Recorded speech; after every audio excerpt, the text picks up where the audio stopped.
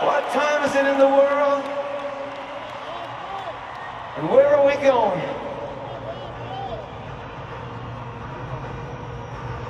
Houston?